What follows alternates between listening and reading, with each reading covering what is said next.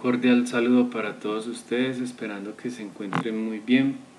Este videito tutorial es para dar unas explicaciones sencillitas sobre cómo utilizar el simulador financiero de la Facultad de Ciencias Económicas y Contables de la Católica del Norte. Y vamos a comenzar entonces con los datos macroeconómicos. Eh, para poder llenar eh, esta primera hojita de cálculo, eh, hago las primeras aclaraciones en función de que el simulador nos puede servir para eh, la asignatura de formulación y evaluación de proyectos eh, o para desarrollar un plan de negocios en su módulo financiero de una manera muy básica o en caso tal para hacer análisis financiero de manera horizontal o vertical con sus indicadores eh, financieros eh, y, de allí poder sacar pues una información muy importante. Em, entonces comenzando con los datos macroeconómicos empezamos con el año base que para nuestro caso es 2017 o dependiendo en el año en que estén pues entonces simplemente digitan el año actual automáticamente se ve la secuencialidad de los años siguientes y lo siguiente a lo que nos debemos concentrar es en eh, buscar información relevante eh, en función de las proyecciones para el índice del precio del consumidor, las tasas de interés o DTF, el precio eh, interno bruto del país y la inflación. Para buscar esa información, pues entonces nos vamos para, para digamos, las proyecciones en internet, proyecciones macroeconómicas Bancolombia y en esas proyecciones macro, eh, macroeconómicas Bancolombia la idea es buscar un archivito que nos identifique obviamente la información que necesitamos encontrar. Aquí estamos en la página de Bancolombia, del grupo Bancolombia, y mm, vemos que tenemos habilitada la tabla de macroeconómicos abril 2017 la de mayo todavía no está actualizada. Tenemos la de marzo, ¿cierto? Pero la más actualizada es la de abril.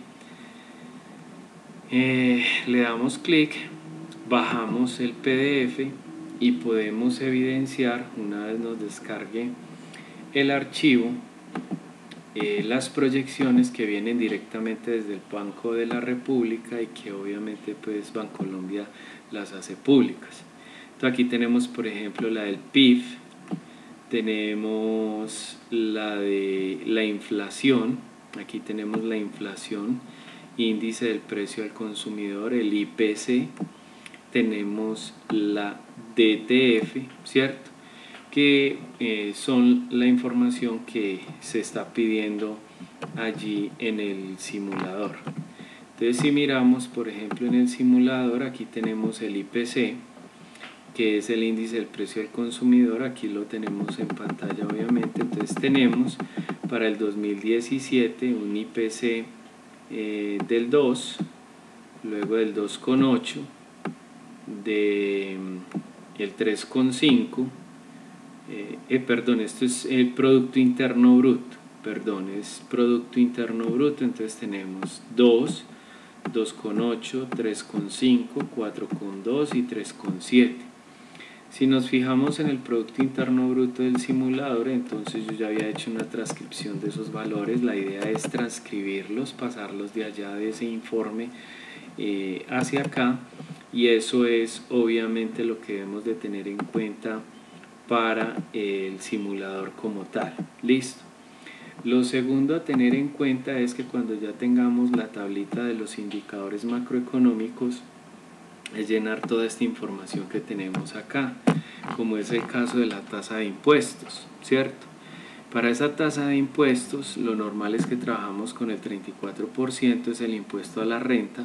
Por cada venta que se haga, el 34% va para las arcas del gobierno. Trabajamos con una TMRR, que es la tasa mínima de rendimiento al inversionista, como estamos trabajando proyectos formativos, siempre vamos a trabajar con el 18%. Eso quiere decir que por un peso que se invierta, la idea es que rinda el 18%.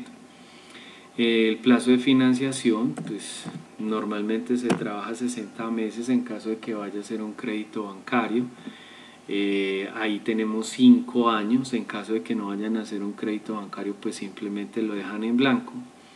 Eh, días de proveedores significa es cada cuánto le vamos a pagar a nuestro proveedor por los insumos o materias primas o servicios que nos vayan a prestar.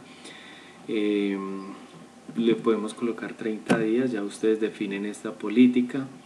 Días de cartera es cada cuánto le vamos a cobrar a nuestros clientes. Empezando un proyecto, lo más normal es hablar de contado, entonces dejamos este espacio en blanco en caso tal de que tengamos esa flexibilidad de días de pago de nuestros clientes, entonces ustedes manifiestan 30 días, 15 días, 45 días, ya es una decisión, una política de venta de ustedes. Y cuando se habla de la tasa de crédito efectiva anual, eh, lo ideal es que consulten esto en el mercado real, lo pueden hacer en cualquier banco, cuál es la tasa efectiva anual eh, para mm, tasas, perdón, para créditos eh, de libre inversión. Entonces normalmente se trabaja en el mercado actualmente un 2%, coloquemos 1.92, él no lo acerca al 2%. Si ustedes obviamente lo quieren con el valor exacto, pues entonces eh, habilitan para decimales. Listo.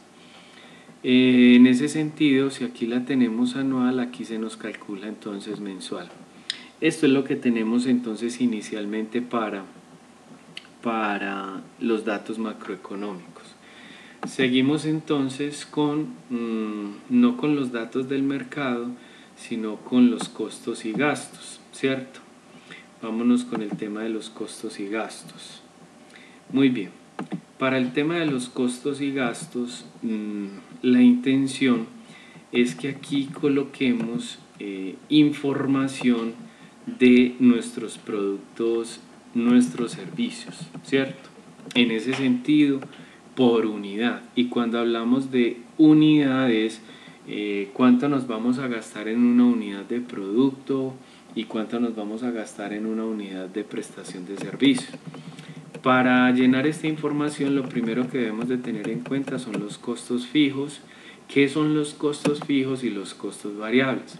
Los costos fijos son aquellos que verdaderamente no cambian en función del tiempo y que desde el punto de vista operativo o en el área de producción no intervienen en la fabricación del producto o del servicio.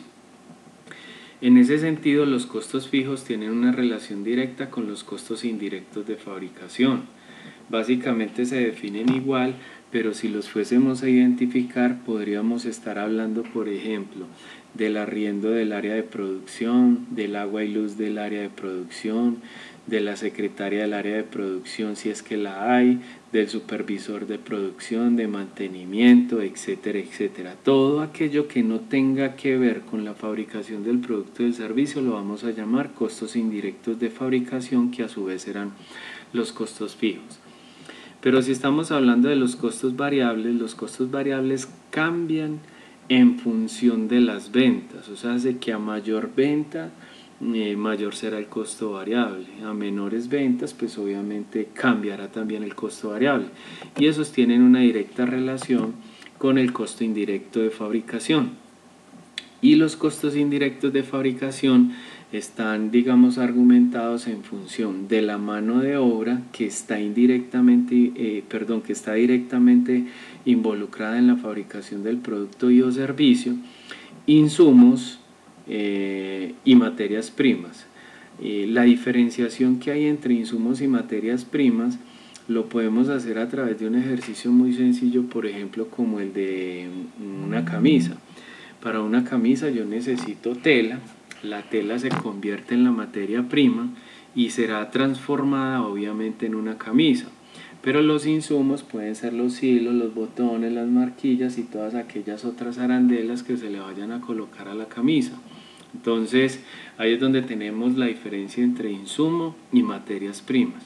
Entonces todo lo que vayamos a eh, colocar acá en los costos variables tiene que ser en función de la mano de obra costos indirectos de fabricación, materias primas e insumos y por unidad. ¿Eso qué significa?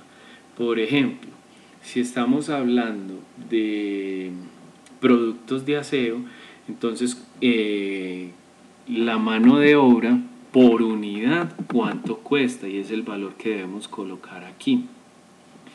En costos indirectos de fabricación, agua, luz, teléfono, mantenimiento, cuánto cuesta por unidad y ese es el valor que debo colocar aquí. Y en materias primas e insumos, por unidad, cuánto eh, me cuesta y ese es el valor que debo colocar. Por cada producto es lo que yo debo hacer y debo llenar este cuadro en función mm, de cada producto. Ya en este cuadro siguiente se calcula automáticamente este valor por unidad por el número de unidades que básicamente voy a colocar aquí en los datos del mercado, que eso después lo miramos. Listo. Entonces ya estos valores se calculan automáticamente. En el tema de los costos eh, fijos, recordemos que estamos hablando en función del área productiva. Entonces en el área productiva podemos tener agua, luz, teléfono, esto los podríamos juntar en uno solo y podemos decir servicios públicos para el área de producción, tanto la secretaria, que obviamente se convierte en un costo fijo, pues digamos que es mano de obra indirecta, entonces digamos que le vamos a pagar un sueldo y eso lo vamos a multiplicar por 1.53. ¿Por qué 1.53? Porque allí están sumados todos los porcentajes de los parafiscales y de las prestaciones sociales y eso me suma un total del 56%. Entonces si yo multiplico por 1.53 es el 53% por encima del 100, lo cual implica que me va a dar el valor real que es 1.071 en este caso.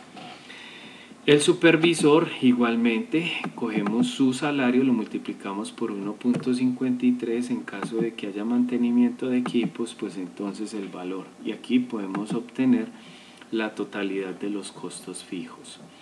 Muy bien, ya en cada caso me imagino que será diferente, ¿cierto? En caso de los gastos fijos, nos vamos a concentrar solamente en el área administrativa y en el área de ventas del proyecto o, del plan de negocios, o dependiendo pues. En el área administrativa, entonces tenemos arriendo de la empresa, también servicios públicos, comisiones por venta, un plan de celular, seguros, ustedes ya establecen las cuentas más importantes que son eh, eh, relevantes específicamente en el área administrativa y en el área de ventas del proyecto. Entonces en ese sentido colocan su valor mensual en cada uno de estos ítems y obviamente entonces aquí habrá una totalidad. Ya lo que hay aquí al final son los salarios, ¿cierto?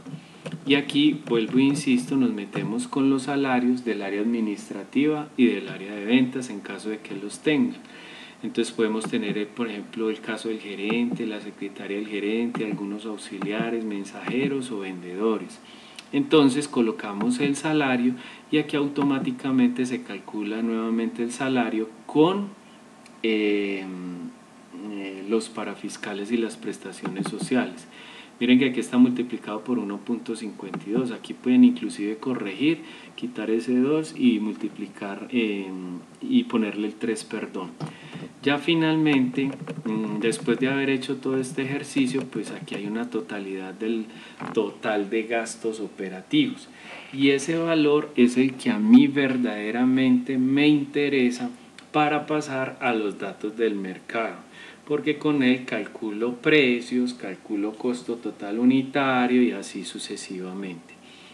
Entonces, en ese sentido, pues digamos que en este primer videíto estamos explicando estas primeras condiciones para que las tengan en cuenta. Por favor, eh, remitámonos al segundo videíto para que podamos tener una mejor apreciación de lo que sigue. Muchas gracias y hasta luego.